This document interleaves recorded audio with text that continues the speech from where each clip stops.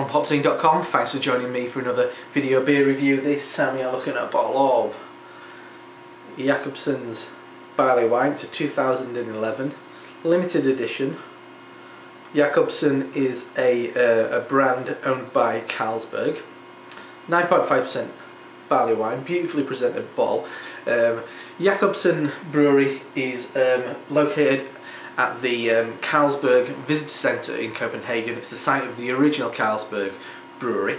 The name Jacobsen is the um, the surname of the um, the founder of Carlsberg.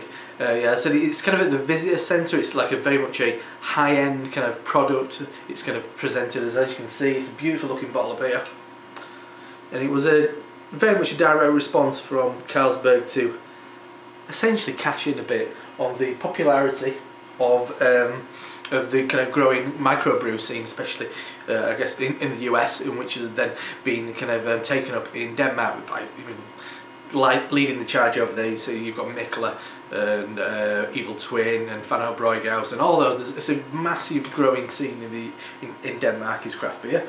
So Carlsberg being the biggest kind of uh, native brewery um, wanted the opportunity to um, play around with interesting styles, and I think they've got a guy in charge there. Can't remember his name, but the um, there's a big piece on their website about him.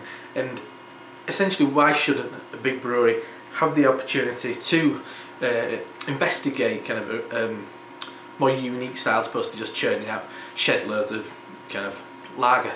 So this is, as I said, it's part of their kind of like visitor experience. There's only one place you can get these bottles, as, as far as I'm aware, is from the either drink it at the at the bar at the visitor centre or buy them from their shop. So 9.5% ABV. Big thanks to Simon from the Real Ale Guide for bringing this over to um, the Beer Blogs conference last year when he stayed over at my house. This is one of the bottles he brought me, so thanks Simon, he loved this. So I'm not, I, I have no prejudice against the idea of Carlsberg. I'm not going to be expecting it to taste like Carlsberg or anything like that.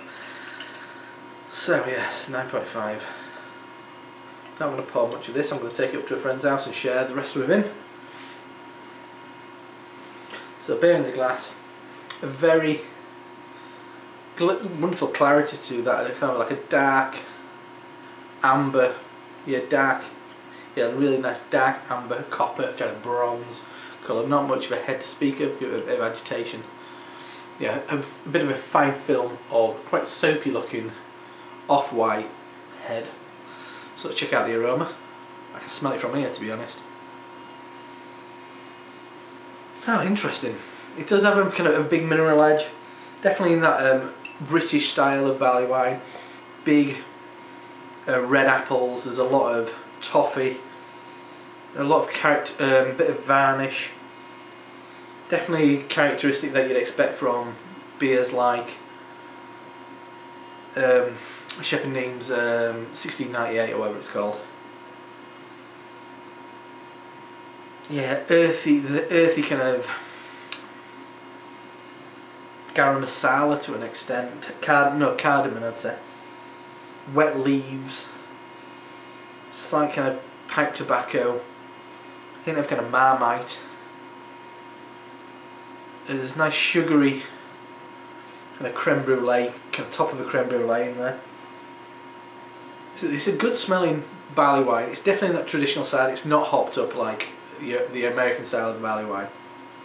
So let's dive into what it's all about. Cheers. Cheers, Simon.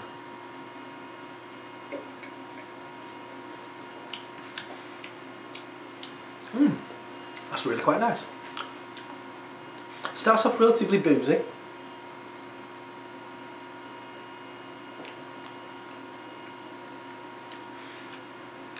Caramel, Marsala wine, big sugary note there. Once again, um, bonfire toffee, molasses, malt loaf, like a fruit bread.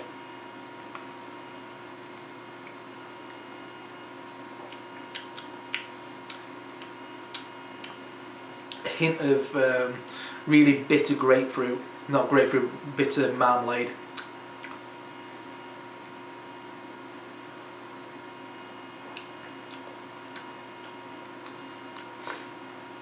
Bit of an alcohol phenol, uh, phenol going on there. These like in these kind of like uh, this, this really sweet, sugary. Once again, the top of a creme brulee is in and out. Wonderful clarity. Licorice, definitely licorice. Ending with a slight kind of uh, revisiting to that um, kind of sweet caramel once again. Slightly sticky on the lips. Very nice actually.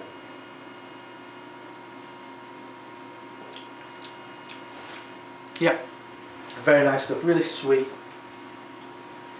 but in, interesting in itself because it's not purely a, um, a traditional barley wine. It's a bit sweeter. It's got a little that yeah that kind of vanilla sweetness, sugary sweetness really comes through. It's really quite nice that. So I'm going to share this with a friend for the rest of the afternoon. So that's a bottle of Jacobsen's Barley Wine 2011 from the Jacobsen Hus, Husbryggeriet Jacobsen at the Carlsberg Visitor Centre in Copenhagen. Who'd have thought it, eh? Lovely stuff. So yeah, cheers Simon for this bottle of beer. Finally got around to drinking it about a year later, but I'm sure it's just a uh, developed with time. Anyway, I'm Rob from hopzine.com. See you next time. Cheers.